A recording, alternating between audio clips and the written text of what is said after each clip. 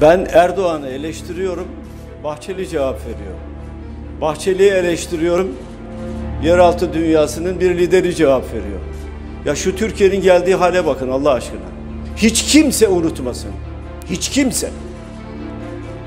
Bizim ruhumuzu oluşturan temel öge Kuvayi Milliye'dir. Çakalların bulunduğu yerde hiç kimse ama hiç kimse bize bir şey söyleyemez. Ben Erdoğan'ı eleştiriyorum, Bahçeli cevap veriyor. Bahçeli'yi eleştiriyorum, yeraltı dünyasının bir lideri cevap veriyor. Ya şu Türkiye'nin geldiği hale bakın Allah aşkına. Nasıl bir hale geldik? Daha önce ifade etmiştim. Hukukun olmadığı yerde, hukukun ihlal edildiği yerde, devlette liyakatin çöktüğü yerde, yargının olmadığı yerde bir süre sonra devlet organize suç örgütü haline dönüşebilir. Ki bunu 2-3 hafta önce ifade etmiştim. Nasıl oluyor da? Böyle bir eleştiri başka bir yerden geliyor. Bana cevap verecek olan Sayın Bahçeli'dir veya onun arkadaşlarıdır. Aralarındaki ilişki ne? Onu bilmiyoruz. Ama ciddiye alınacak bir olay değil. Hiç kimse unutmasın. Hiç kimse. Bizim ruhumuzu oluşturan temel öge Kuvayi Milliye'dir.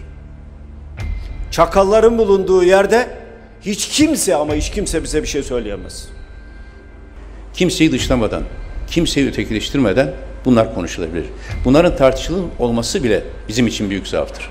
Ayrıca Sayın Genel Başkan'a e, siyasi bir eleştiri dolayısıyla e, yöneltilen tehditler konusunda ise kesinlikle öncelikle iktidarın bu konuya cevap vermesi gereken bir husustur. Yani burada hukuk devleti kuralları işler ve anayasal bir e, konuma sahip olan ana muhalefet lideri hiçbir kimse tarafından tehdit edilemez, hakarete uğrayamaz. Sadece o değil, hiçbir siyasi lider.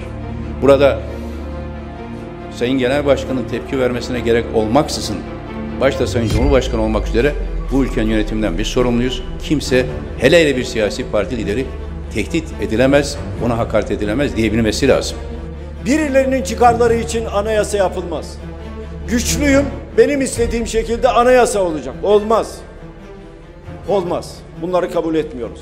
Bu ülkede kim yaşıyorsa 83 milyon beraber bir toplumsal uzlaşmayla bir anayasayı yapacağız ve hayata geçecek.